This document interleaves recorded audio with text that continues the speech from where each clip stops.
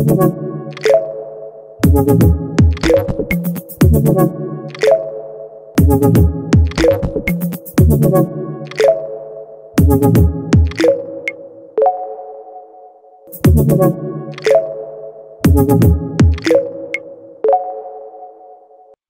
morning, um, everybody, and good morning, uh, panelists. Uh, I hope uh, everybody's having a very productive Infra Day. For those that don't know me, my name is uh, Aitor Álava. I'm based in New York, and I'm heading Natixis Infrastructure Finance practice for uh, Latin America. And today, together with my colleague, uh, Ben Koehler, we will be moderating this this panel on renewable PMGD in in Chile. Um, for me, that I'm a professional that is focused in Latin America, I'm super excited of of, this panel because I think this is the first time that we have a LatAm-focused panel in Natixis Infra Day. I think clearly that's a reflection of the importance that the region has um, in in our clients, both investors. We see investors that have a larger share of their portfolio um, with assets in this region, and also for our sponsors client, definitely Latin America, especially on the renewable space, it's really in the radar for the for the growth. Um, I hope that the you know, the topic will be interest for for the audience for a number of reasons. Um, I think the PMGD uh, scheme, which is basically distributed generation um, in Chile, is quite innovative, and probably there's some lessons that could be learned for the other areas of the uh, in the globe. And, and secondly, because you know this topic is putting together two themes in the power market. Uh, one is the energy transition to greener uh, energy matrix and and, and also you know the distributed generation, which is a topic that is becoming more and more important in the in the U.S. And so um without uh, further delay, because I think the interesting of this panel are the views of our uh, panelists, I'm going to introduce uh, this group of uh, professionals. Uh, all of them are and have been key partners of Natixis in our efforts in the PMGD space. So very briefly, we have with us Candela Macchi from Buenos Aires. She works at Standard & Poor's and has been the lead analyst in a number of transactions that we have uh, we have rated. We have uh, Thierry Thierry Carcel from from Spain. He is the CEO of Reden. Reden uh, is an IPP that has done um uh, has invested in a couple of portfolios of PMGD in Chile, apart from other things that they're doing in in other areas. We have David Flory from the U.S. David is is heading project finance and Sonnedix, again, a very large IPP, and they have also invested in one PMGD portfolio in Chile. And finally, we have eh, Juan Pablo Raffetto, um, based in Santiago de Chile. Uh, he works at MetLife, and he's heading the LatAm infrastructure um, practice. So I'm sure their views will be very useful for the for the audience. Uh, we have views from sponsor side, investor side, and also from rating agency. Before I we jump into the Q&A, um, I think it will be worth for the audience to give some initial background of what is PMGD, because obviously for us, is is you know it's it's it's a no-brainer because we spend a lot of time on this. Um, so basically, PMGD is a scheme that was put in place in Chile you know, more than 10 years ago, trying to promote um, this utility-scale distributed generation. When I say utility scale, is that this is not uh, you know roof uh, projects. Uh, so we're talking about uh, projects each between 3 and 9 megas. Um, the main reason why Chile wanted to push this type of projects, uh, it's twofold. Obviously, it helps on achieving their green objectives and the decarbonization of their economy. But also more importantly, um, it's to alleviate some transmission constraints. Uh, by putting closer the generation and the demand, uh, you can avoid unnecessary transmission investments and transmission bottlenecks. That's why you know Chile has embarked in this in this scheme. And and the backbone of the scheme is basically what is called the stabilized price, is that all these projects are entitled to receive um, um, a price that that is not a fixed price. So it's a little more tricky, and that requires a little bit of of analysis. but it's a stable price that kind of tracks the the average spot price in the market, but also the average uh, price all the PPAs in, in the country. So in a nutshell, while the deal is not, um, you know, with a fixed price with a traditional PPA, it's it's a deal. It, it's a it's a it's a tariff that, as its name says, is it's stable by by and and it should not move dramatically in the in the in the short term. Um, and any investment analysis, both on the sponsor side and on the on the lender side, requires an understanding of how this tariff uh, how this tariff uh, um, and just final, finalizing, you know, on, on, on Natixis side, you know, this is a market that probably until three years ago was a little bit under the radar of, uh, of international um, uh, institution like us. It was basically a market done by small Chilean uh, institutions. Uh, we started looking at this, as, as I said, three years ago, trying to understand the scheme, trying to come with a tailor-made solution that could help our clients. Uh, we invested a lot of time and we're able to um, have been able to put forward a very strong product. So far, we have closed uh, six deals, which is more than 500 million. Um, and we're working in a, in a number of, of additional mandates. So, you know, we think we're really at the, at the front, uh, the forefront of this, uh, of this, uh, of this market. So, again, uh, the interest part of the panel is are the views of all these panelists. So, Ben, I, I, I'll let you take the, the floor and, and guide us through the through the Q&A.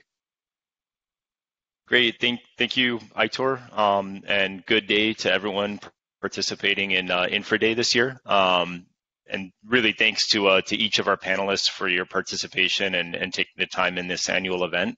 Um, as, as Aitor said, we've been working quite intensively for a few years now in, in PMGD um, and each of you has been a really important partner to us in that process. We we, we hope likewise that that we've been um, uh, helpful and, and value added uh, partners for you. Um, we've got a, a, series of questions that um, we'll run through, and I, I, think we'll probably try to give around five to seven minutes to uh, to, to each of them. Um, the goal is to have uh, an open discussion and keep this relatively dynamic, even though we unfortunately can't do the event in, in person this this year. Um, so the the first general topic is um, really about uh, beginnings, um, and um, uh, our, our, question is is what compelled you initially to start looking at the PMGD space? Um, what benefits did you see in PMGDs for country for, for Chile as, as a country? Um, and and what role uh, did uh, your institution's green priorities um, have in, in, in, in, shaping that motivation to look at PMGDs? Um, per, perhaps it would be interesting to hear first from uh, the sponsors on, on this point. Yeah, well, if you want me to jump in, um, very clearly, uh, Chile was a geography we were interested in. Uh, but I would say that uh, if it was not for PMGD, maybe we wouldn't have gone investing in Chile. Why? Because PMGD is kind of an hybrid in between the merchant price and uh, and, and and feed-in tariff.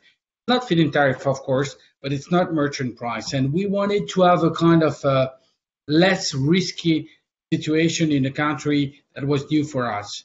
So PMGD was the, the right in between for us to take the decision.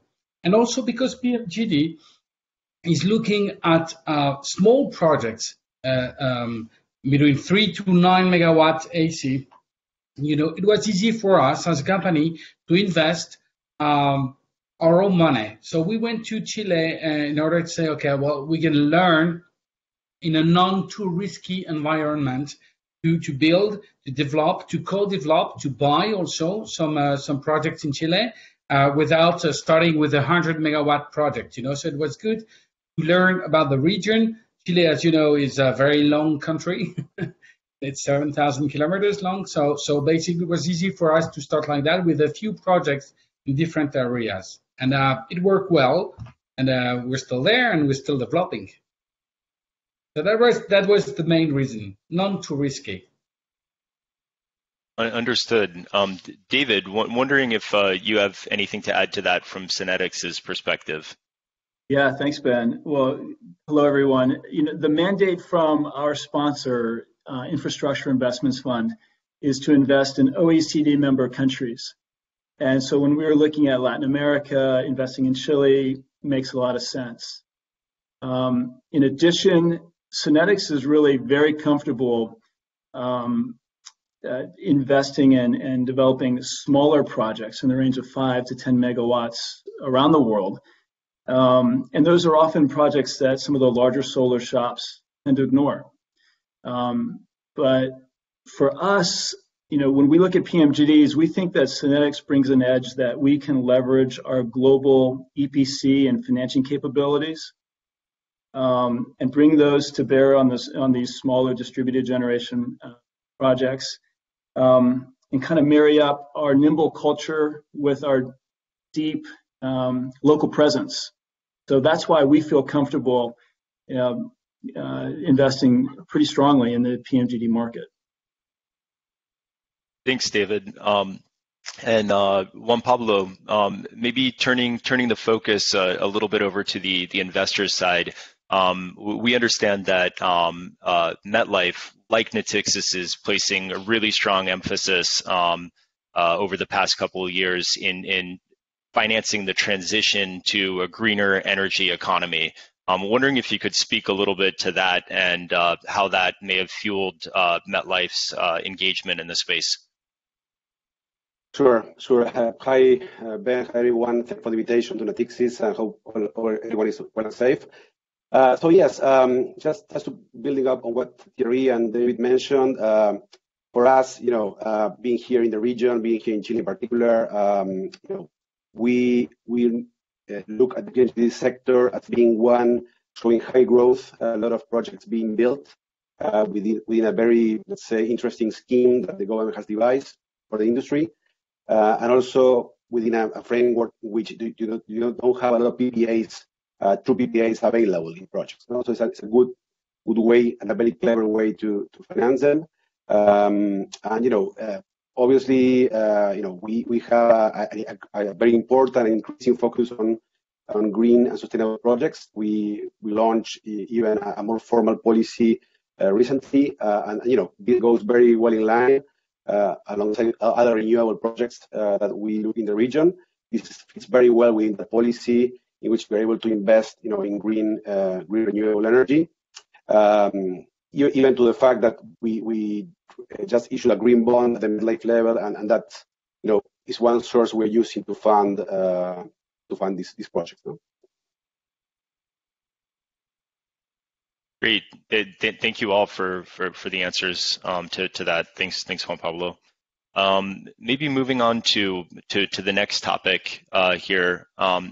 If I can paraphrase uh, Thierry's answer to the last question a little bit, um, um, it, it, sounds like you're saying Thierry that uh, PMGDs um, they're not too risky um, because they're not merchant clearly. Um, and on the other hand, there's still interesting returns there um, because it's it's not perhaps in the hyper competitive contracted uh, uh, market. So they, they seem to fall into sort of a, a Goldilocks uh, zone for you, not too cold, not too hot.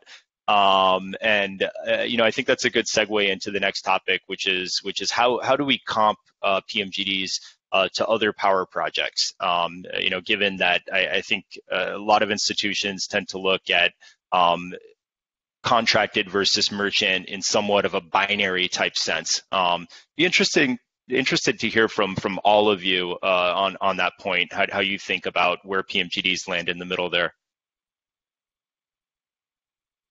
Well, if you want, I carry on. well, uh, financing wise, uh, um, I think that uh, PMGD they all have the same uh, behavior, if I may say so. That is, say that's a quite a homogeneous a population of projects. So you can benefit from the size of big projects because when we talk to people like you, of course, uh, uh, we need to have size in order to, to have good conditions. Um, so we benefit from the size, but also we've got the benefit of diversification. That is, it mitigates the risk quite a lot. On top of, of course, the stabilized price, the fact that there is a link to the US dollar, which is very important because in Latin America, uh, um, as Juan Pablo said, uh, uh, that's very important to have, you know, uh, this kind of, you, you need to, to, to choose very carefully uh, uh, the country you're going with. So Chile is a good situation.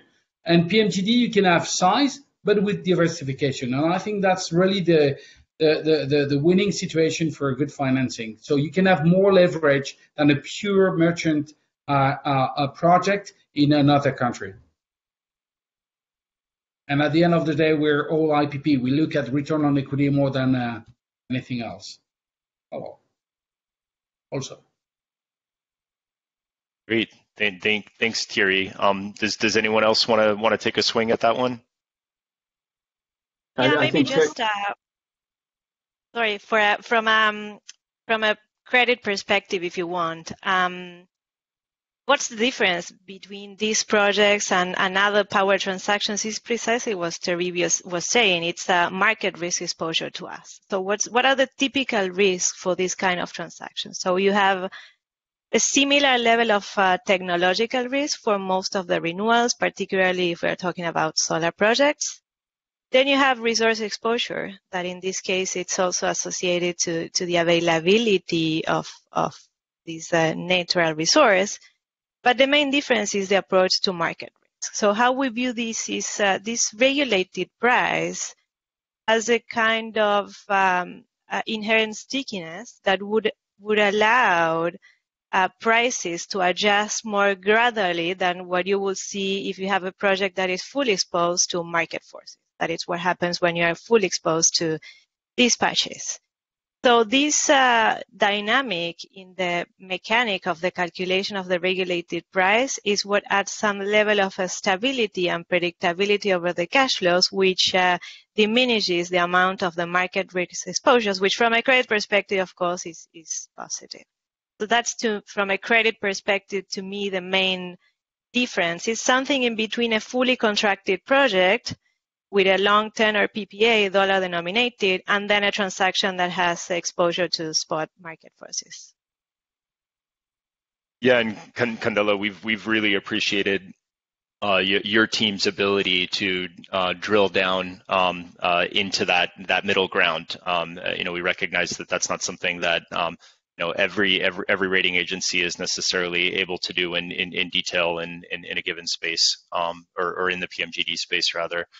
Um, not sure if uh, if David or uh, Juan Pablo uh, would, would like to speak to that.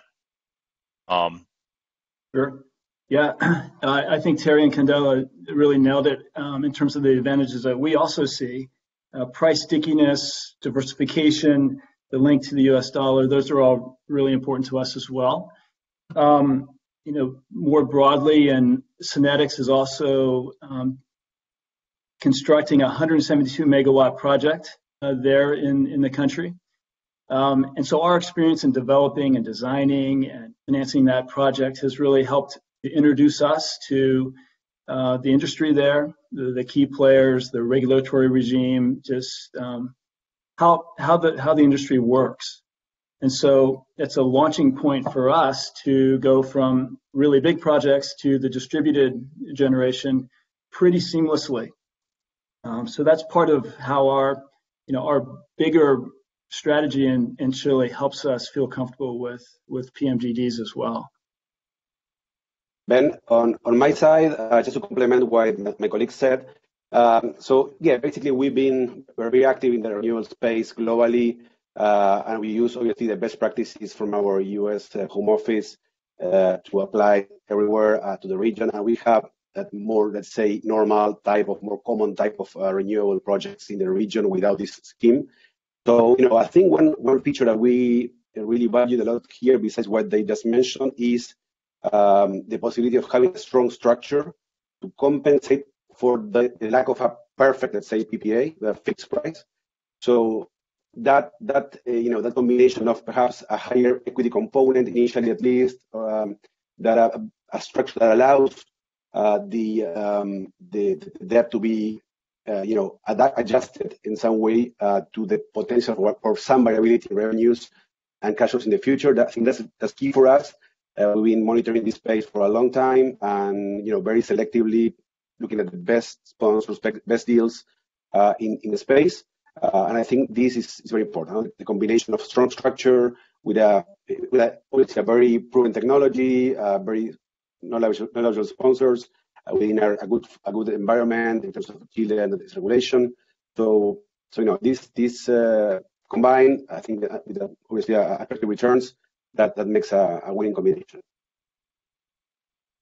Great, thanks, David and and Juan Pablo.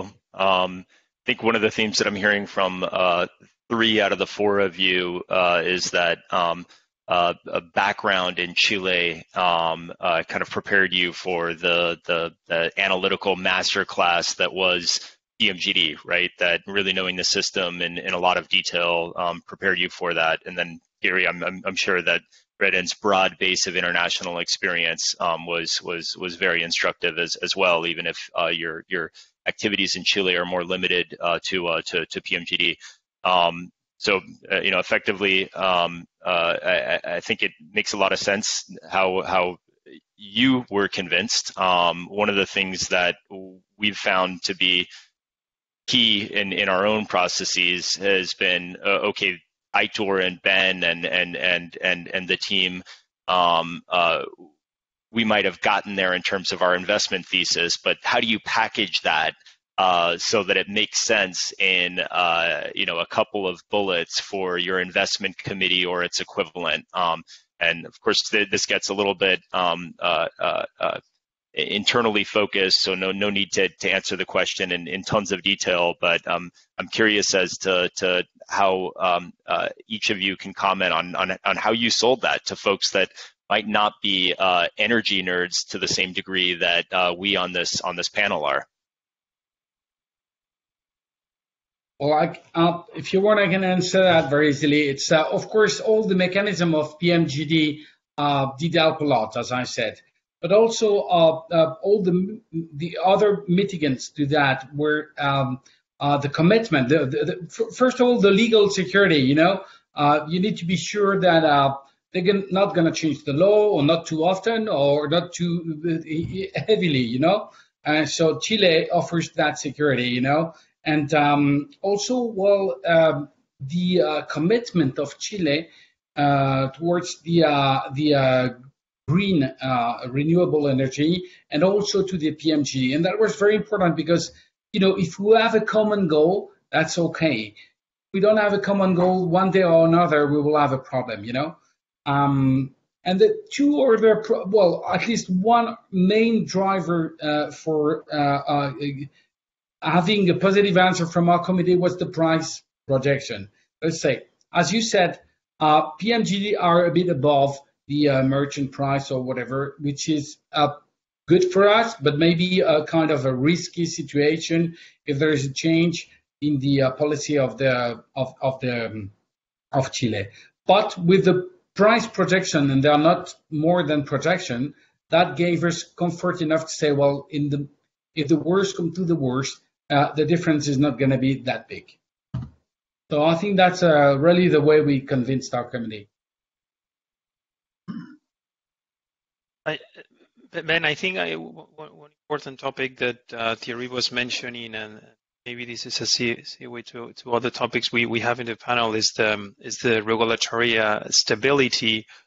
I, I I tend to believe that um, you know usually usually politicians don't do too crazy stuff but when i when i've seen or what i've witnessed in the past changes in regulation is because something was not really adding value to the economy or to the country um, it was mentioned before and this is something that needs to be understood by the audience that you know chile is a very long and narrow country uh, which creates huge issues you know from a transmission point of view so um, you know, PMGD is, is, is helping the country to reduce that, and also obviously helping on the the on the green uh, initiative. No, so so maybe it will be good to, to hear from from from the panelists uh, the views uh, regarding the regulatory stability. Um, Chile, um, there has been recent changes in, in PMGD, um, so maybe it will be it will be interesting to, to hear from them. So I, I don't know who wants to take this. Uh, you know, I think this is a question for everybody. I'd be particularly interested in, in hearing from Candela, maybe uh, first on, on, on that one, if, if you don't mind, Candela. Um, I, I know you've sure. done some significant um, regulatory benchmarking work um, throughout LATAM. Yeah, of course, Ben. So let me start by saying that overall, we assess the utilities regulatory framework in, in Latin America as supportive. And this is, of course, there are some exceptions, but this is because uh, most of the regulations in the countries in the different region allows for timely recovery of uh, operating costs and capital, and, and they are considered as relatively stable and predictable. Two topics that are very important to us. And we base this regulatory risk assessment on four indicators that includes uh, regula regulatory stability, regulators' independence, rate setting mechanisms, and there's some future developments that it's basically if there is any expectation of uh, significant change, uh, such as uh, we've seen in, Mexico a couple of years ago with the energy reform, or in the case of Chile with these, uh, the release of the targets for, for the renewable energy. The four scores in Chile particularly are considered as positive from a credit perspective, and this positions the country as one of the strongest in the region in this aspect. And this is because uh, we are talking about a regulatory framework that has uh, decades of, of history and in our view is very transparent and predictable we are talking about a system that has uh, operated well under both expansionary but also recession cycles, that it's very important.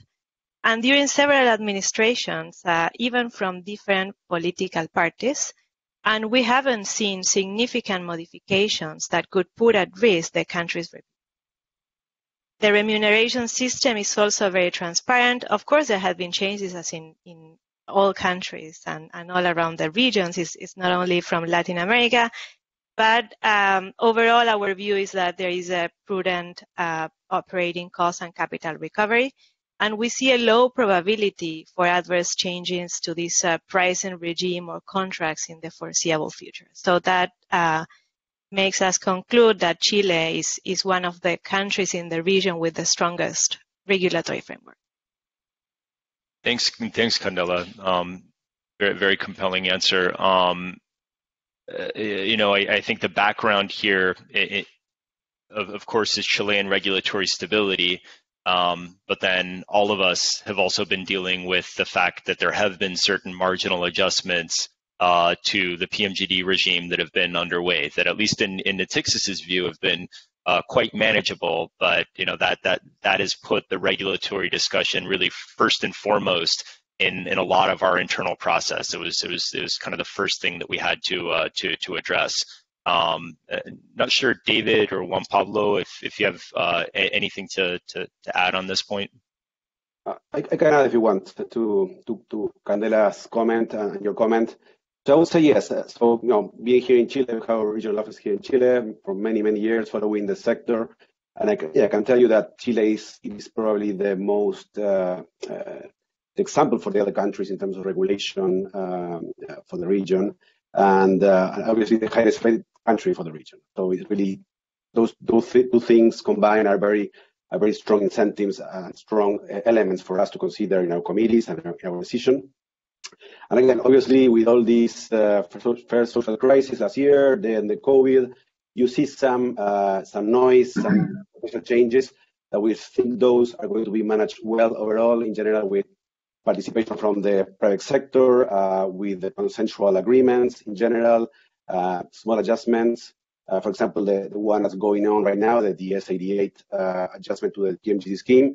I think that has been discussed for nearly two years now, and we expect that to be uh, enacted very soon. Um, what, what's uh, what's being done there is quite logic and, and make, makes sense to, to the sector and to the financing structures. And, and again, the structures that we are looking at in terms of financing are contemplating that, that possibility already embedded in the structure in a way to keep metrics in a healthy way. Um, and, and beyond that, I would say, uh, yes, we are waiting for that confirmation. Uh, but in general, we expect uh, that to, to be to be supportive and and again correcting things that are smaller, more like uh, avoiding uh, more like speculation of some players. Um, I think that's very important for for these uh, investments in PMGD is that they are on the right side of the the say of the um, of the of the the spectrum within potential different governments in the future, different regulations, you know, it's smaller projects, green projects, distributed energy, all those things are really, I mean, the price is, is going to be adjusted downwards alongside with the PPAs and the spot price. So really, you don't see a lot of angles where you would like to dramatically change the sector uh, for any reason. Thanks, Juan, Juan Pablo. Uh, David, you want to sure, touch that sure. one? Yeah, I'll, I'll, chime in a little bit. Uh, so overall, is Sonnedix really appreciates the macro stability of of, um, of Chile. It's it's really the first thing that we assess when we look at entering a new country, um, and Chile checks all those boxes for us. I think the the four factor framework that Candela just described for us is really powerful and and right on. Um, at Sonnedix, I don't think we're quite as as eloquent in, in expressing how robust the system is, um, as she just laid out for us, but we also come to the same, very same conclusions that this is a over the long term, and that's what we're we're a long-term investor. Over the long term, the regulatory framework is robust, it's stable, it's it's worth relying on. We have um, we have important senior, significant, you know, local presence um, in Chile as well to kind of keep monitoring and keeping engaged. I think that's important. Um, but that's really why we feel very comfortable with uh, overall the, the long-term regulatory regime in, in Chile. Um, and, and we don't expect after this uh, recent regulatory change, we, we don't expect right now any, any further change of, of any significance. That, that's great. Thanks, thanks, David. Um, and and agree. Candela's framework has been really important for for for us as well, and and and in in our in, uh, approval process. Um, so I'm just hearing a couple themes from uh, you know this this topic. Um, first and foremost, fundamental value to a system, right? Um, and I think we've all learned this in in years of infrastructure. um, you're not adding value to a system or to a counterparty, um, your contracts and your revenues are by definition uh, at risk. So is there, uh, you know, a collective will um, to to have PMGDs um, uh, being built out in Chile? The the answer, uh, you know, for us is is clearly yes.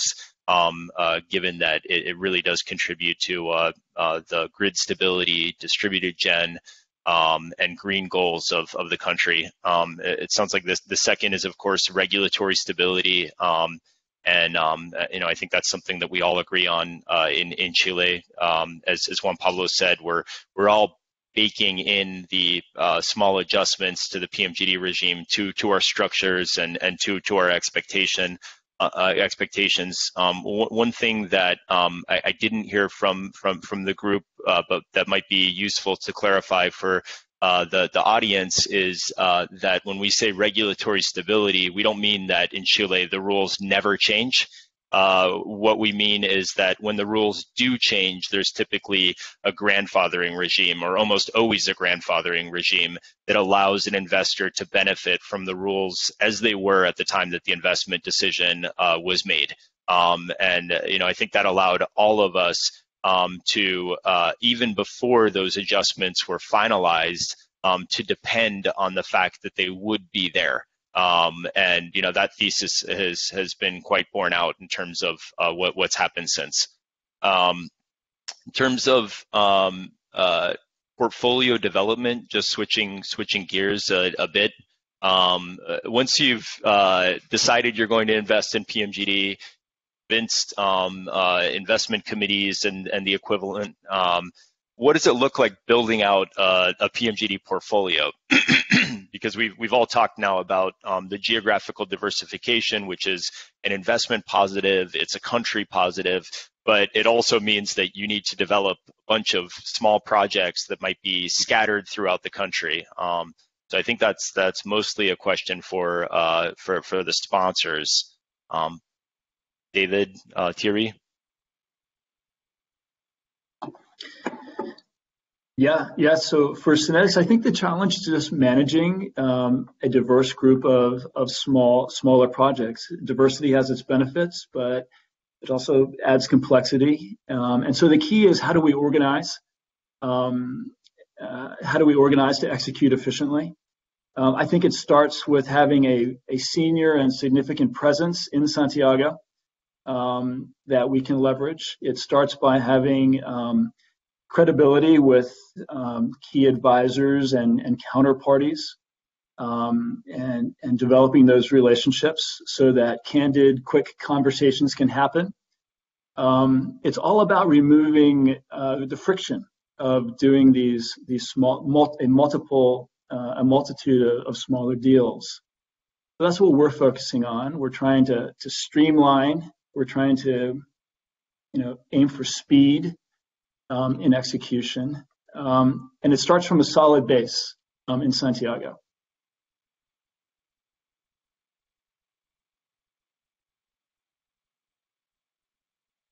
Yeah, if you want me to, to, to, to well, I do agree 100% with uh, what uh, David just said.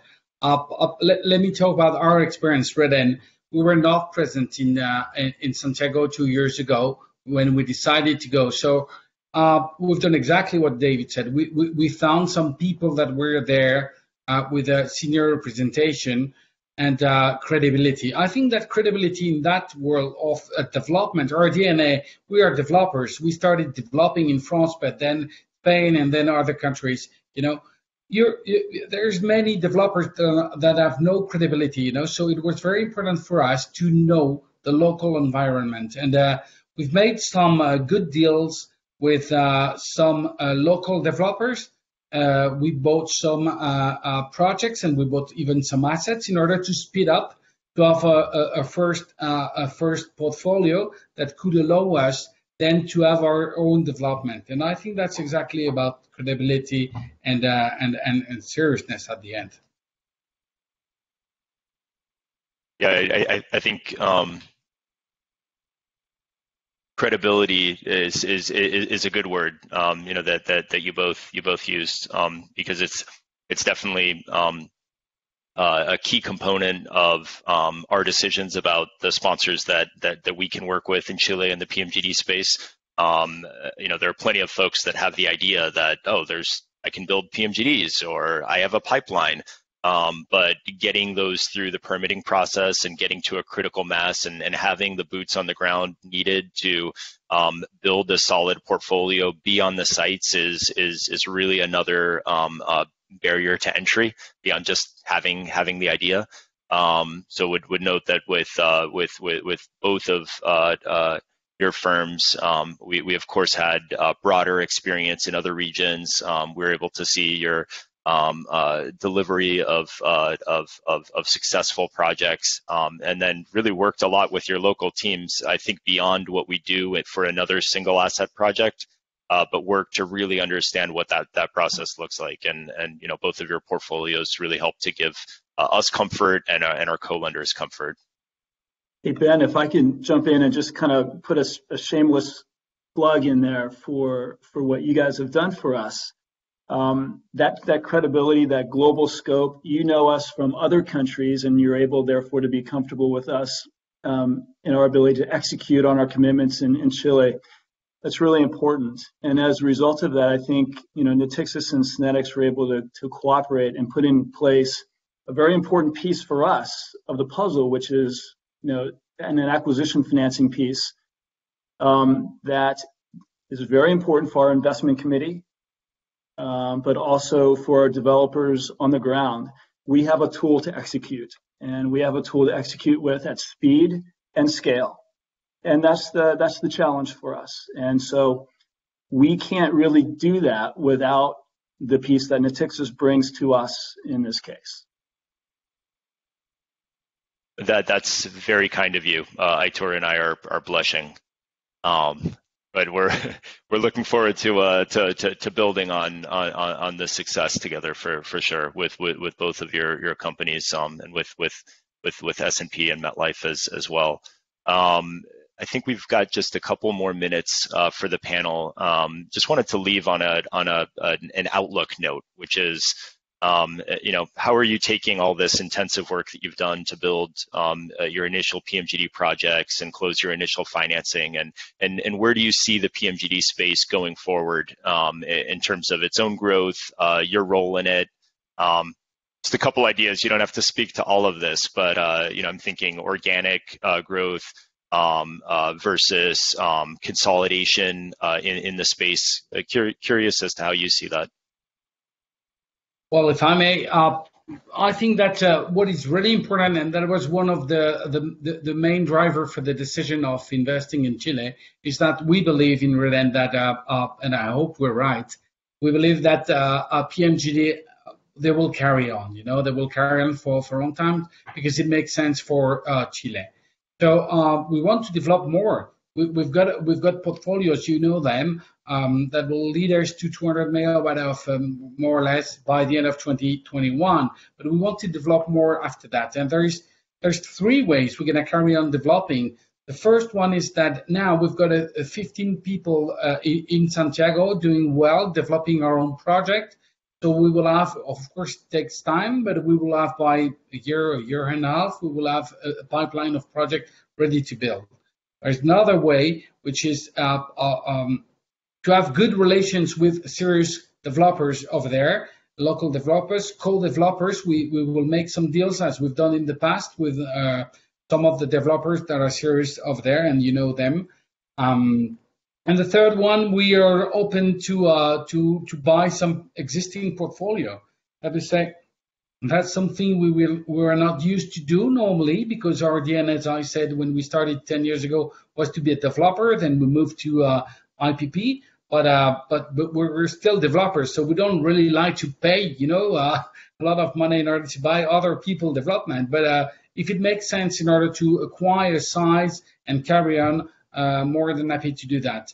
And just to finish on my view on PMGD, it's it's it's it's a valid uh, uh, uh, comment for for Chile, but also for all the geography we're working in.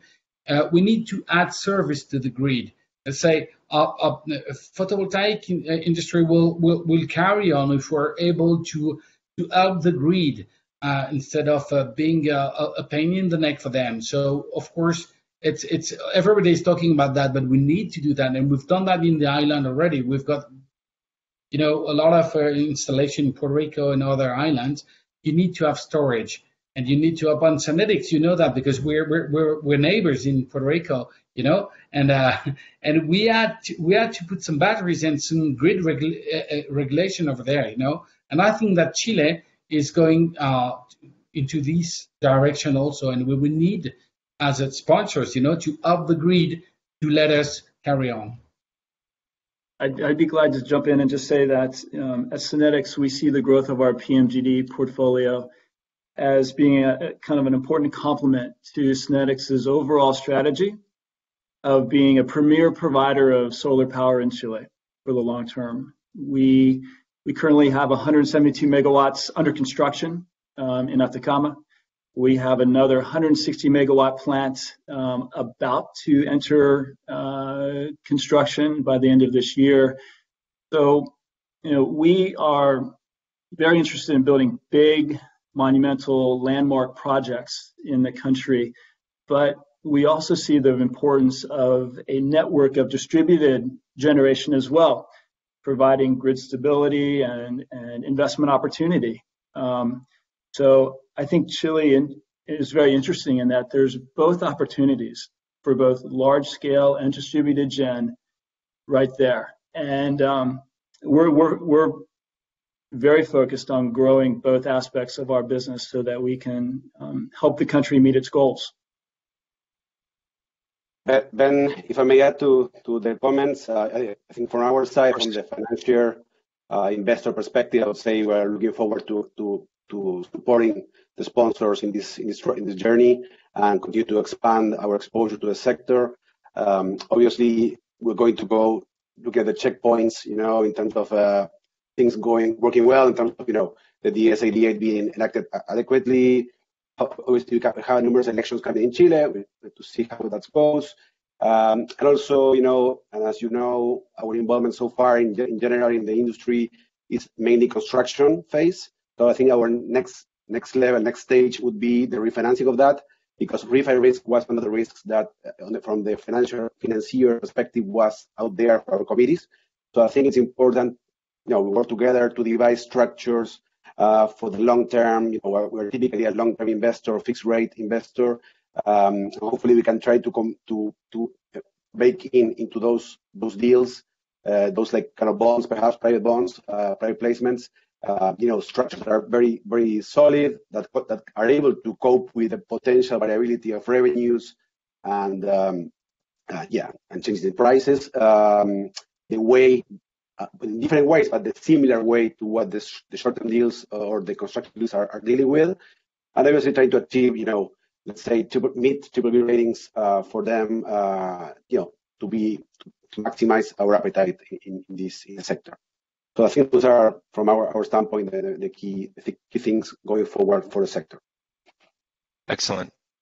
Appreciate those. Um, I'm looking at the time and and yeah. noticing that we may be a few minutes over.